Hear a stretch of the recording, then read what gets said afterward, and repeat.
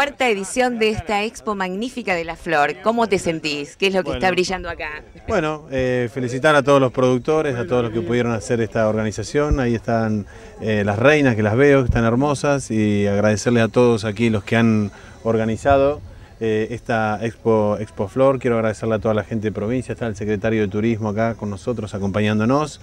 Eh, así que estamos muy felices, creo que la ciudad de La Plata se ha convertido en el cordón verde productivo más importante de la República Argentina y esto se lo debemos a bueno, una cantidad importante de productores eh, de la ciudad de La Plata eh, que nos honran con, su, con la inversión, con la generación de empleo, de trabajo. Y bueno, creo que esta es un poco la muestra de, de, todo lo que vienen haciendo en el año, así que estamos realmente muy contentos. Más exposiciones, más turismo.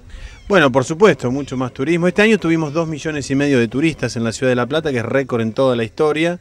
Y, ahora estamos proponiendo la ciudad para que sea sede de los Juegos Panamericanos con el apoyo del gobernador de la provincia, así que esperamos que también eso nos ayude.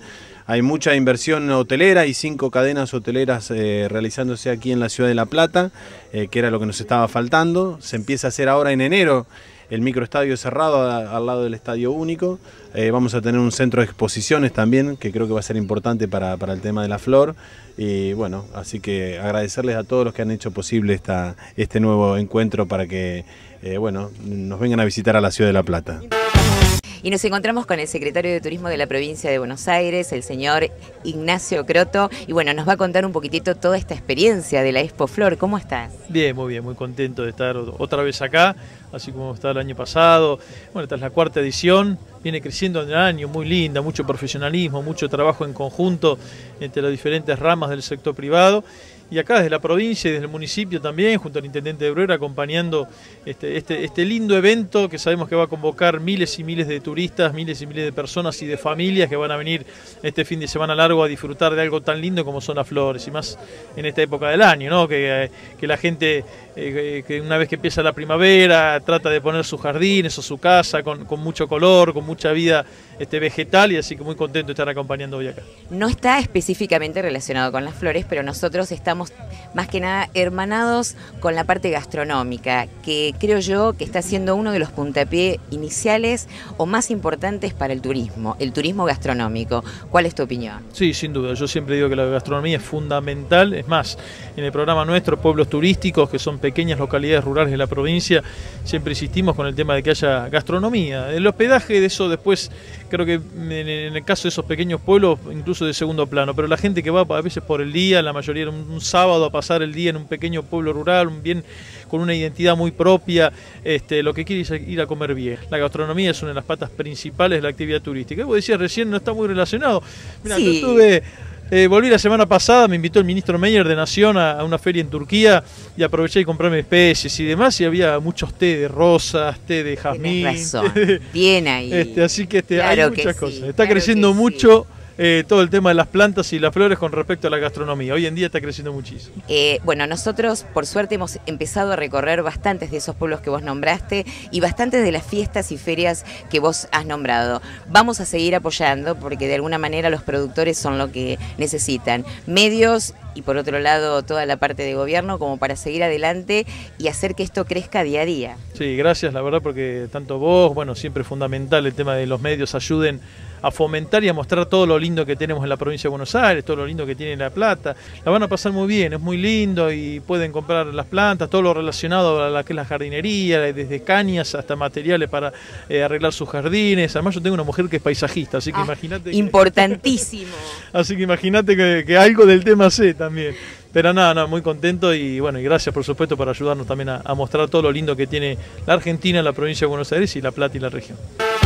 Y nos encontramos con la secretaria de Modernización y Desarrollo de la Municipalidad de La Plata, Alejandra Stusenegger, amiga querida, con un evento fantástico. Hola. Hola, ¿cómo estás? Un gusto estar en tu programa nuevamente, que ya estuvimos, ¿te acordás? En la fiesta de la cerveza.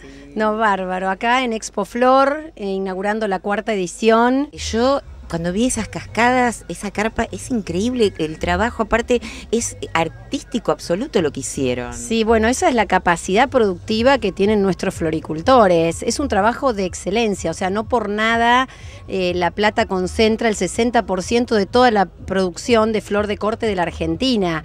Eh, y son años de experiencia de trabajar la flor y nosotros hace mucho también estamos con esta fiesta intentando eh, también que la gente consuma flores para sus casas, eh, sus empresas, sus organismos, para regalar, porque qué más lindo que hay que regalar flores a una mujer en un evento. Es una cosa realmente maravillosa y que por ahí ha quedado un poco en desuso en un momento y nosotros estamos eh, tratando de volver a difundir e incorporar en nuestra cultura. Te recuperás. Ale, recién el, secretario de Turismo me dijo algo que me mató porque yo lo separé de la gastronomía y me dijo, no, ahora hay muchísimas comidas con flores y tenía razón, yo me había olvidado. Los tés, un montón de cosas. Exactamente. Bueno, es otra eh, variante productiva eh, de la flor. Yo particularmente nunca comí. Ay, sí, yo sí. Ah, riquísimo, pétalo de rosa.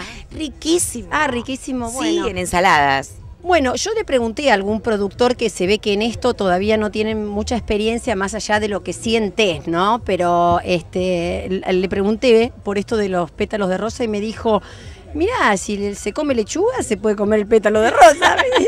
tiene razón. tiene razón. Así que, este, pero bueno, me gustaría probar en algún momento. Bueno, nos encontramos con Horacio Romao. Él es secretario de la Cooperativa de Floricultores. Contanos cómo estuvo la organización, eh, la cantidad de productores que tenemos este, hoy en esta expo, la cuarta expo de la flor. Y bueno, mira, la Cooperativa Argentina de Floricultores eh, está eh, compuesta por alrededor de 800 socios. Eh, todos productores de flores de corte.